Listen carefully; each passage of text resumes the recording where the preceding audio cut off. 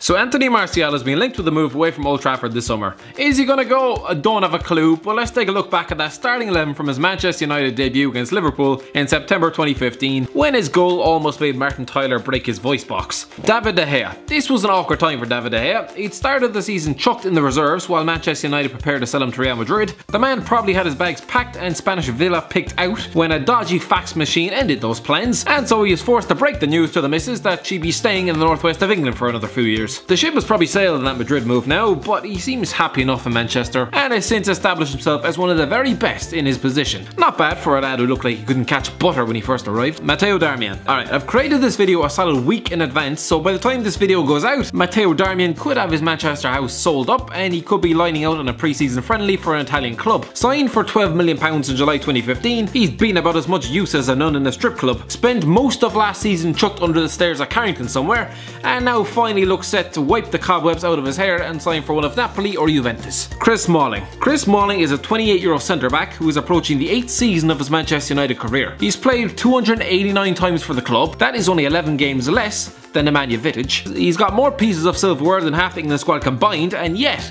he wasn't out in Russia with the lads. No, he was stuck on an island off the coast of Thailand. Yes, Thailand, where he no doubt took an angry shot of whiskey every time Harry Maguire did something good. Daley Blind. Yep, these were the lonely, dark days when Daley Blind was played as a centre half. And you wonder why you haven't won the title in five years. Now, in fairness, the Dutchman actually did a, quite a good job as centre back. It's just at 5'9, he wasn't exactly the tallest. Anyway, the modern day John O'Shea has just returned to Ajax after four years in England. Luke Shaw. Oh, Luke Shaw. This was four days before he went and broke his leg against PSV so arguably this was the last time the world saw Luke Shaw, the exciting teenage left back. Since his injury he's emerged a broken character, seemingly lacking any desire or urgency on the pitch and clearly having developed a fondness for jammy donuts. Neither his club or international boss seems to trust him, with both viewing Ashley Young, a man who by all rights should not be keeping a £30 million left back out of a team, as a better alternative. It's just sad. Michael Carrick. I'll be honest, when Michael Carrick made the move to Old Trafford in 2006, I never envisaged him ending his career there. Fair play to him, 464 appearances and countless trophies later,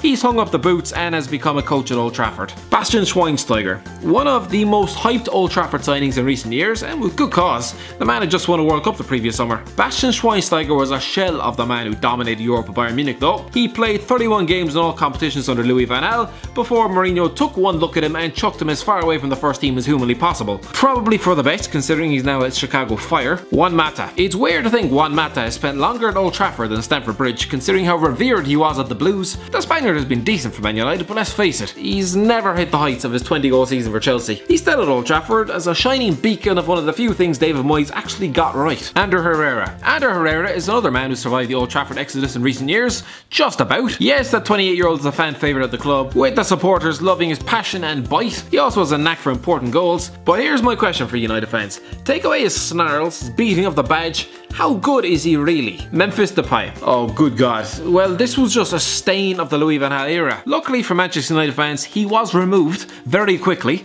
He was signed in 2015 for £25 million, and the hype about this fella. I don't know if it was the fact his mother kept tipping him for Real Madrid. Settle down, woman, let's see if he can cross the ball without hurting himself first. Maybe it was the Dream Chaser tattoo on his back, but whatever it was, I mean, the hype, it was just ridiculous. In the end, there was no substance. He'd scored 28 goals in 40 games for PSV the previous year, and then went and scored 7 in 53 for Man United. He's currently doing the business in Ligue 1 with Lyon, firing home 22 goals last season. Well done Memphis, but let's not forget Remy Cabella also looked a world beater in that league. Marouane Fellaini. Oh Marouane, love him or hate him, he usually has an impact on the game. He gets a bad rep because he looks like Screech and generally has the ball control and coordination of a dead donkey. The fact he's a remnant of the David Moyes era certainly doesn't help his case, but uh, he is effective. He's recently signed a new contract at the club and if he sees it out, it will mean the Belgian will have been at Old Trafford for 7 years, which is longer than Eric Cantona, Andy Cole and Ruud van Nistelrooy.